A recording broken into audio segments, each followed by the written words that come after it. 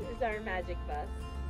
And uh, like and subscribe, and make sure to give this video a big thumbs up, and go and hit that notification bell and follow us. And have a great day. Love you. Pretty much covered it all. We'll see you along the journey.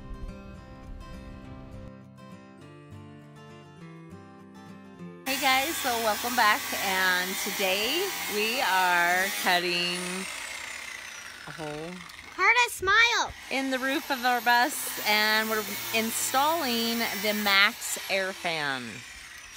So- a turn tape. So I ended up choosing the Maxx Air fan and I went with the big one, the 7500 because it has a remote controlled thermostat so you can set the um, temperature you want and then it will automatically turn on and pull the hot air from out of the bus or you can make it push cold air into the bus. Um, it is done by remote control and it's supposed to be super silent. This was not something I felt like I could do. So I did call in a friend to do this installation and he is up there grinding as we speak.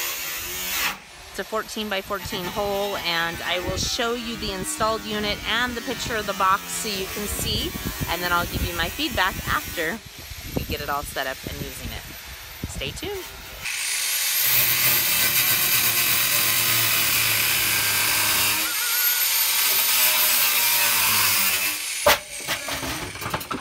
So the moment of truth and the frame fits perfectly as it should.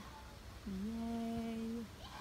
So now to get the rest of it installed and get it hooked up to some solar and see if it works. Like I said in earlier in the video, I went with the Maxx Fan Deluxe. It's an all-weather RV ventilator. Um, it's basically the the top of the line as far as what they offer and it has the remote um, that you can use. I guess you, you can do the remote with 7000 and 7500 model. Um, it's a 10 speed electric and okay so the difference between those two models is just the color. I went with the smoke um, but it's super super quiet and like I said it pushes air both ways so that's why I went with that one and now I'll take you inside the bus.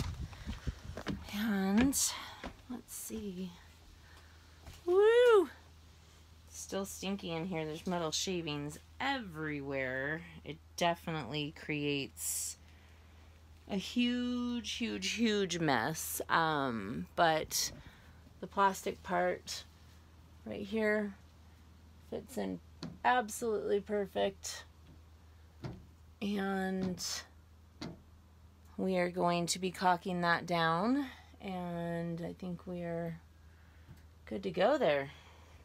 So that's what the unit looks like that's going to go on the top and then I'm not sure what sleeve this probably is what mounts down into the bus. So once it's all on we will check it out stay tuned. So I got this completed yesterday. Basically this frame that goes up here was too wide and so it stuck down like literally to there on the bus. So what I did was I cut off all the way around with a just a little Dremel tool and it was like a little sawzall piece on it.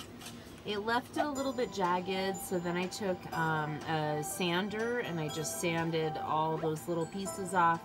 Got that up there, and since I'm trying to screw this by myself, as you can see, I used a little tape right there, and then over here I got one screw in, and I'm just to work on getting the other screws in, and then this project is complete. I'm super excited because this video is, or project, is now complete. I had a friend over that just slammed in four bolts super easy, so now we have wiring left to get behind where it should be, and it's time to get on the road. So another project complete, and if you like this video, make sure and give it a big thumbs up. Leave any comments below. Um, I'll make sure and answer them, and we'll give you a shout out on our next video. We're going to start doing live shout outs um, for new followers, so make sure you like and subscribe. and a comment would be great. Have an awesome week, and we'll see you on the road.